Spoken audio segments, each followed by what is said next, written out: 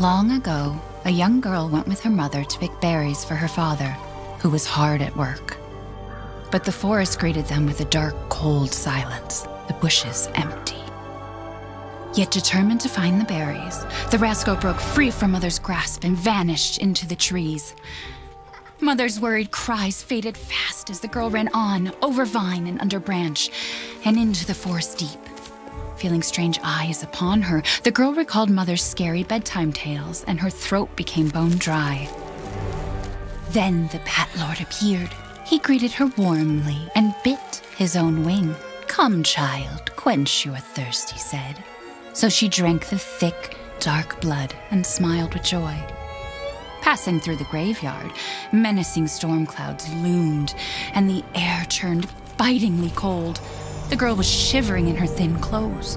Then a dark weaver appeared, and with a click of his fingers, crafted mist into a beautiful dress. Come, child, warm yourself, he coaxed. So she clothed herself and smiled with joy.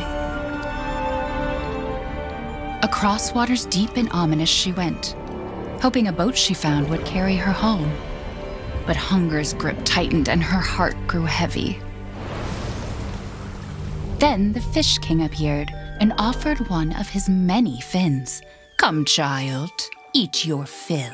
So the girl ate and smiled with joy once more. Continuing on, she soon entered the forest's dark heart. Then an iron steed appeared, bearing a beautiful golden gear.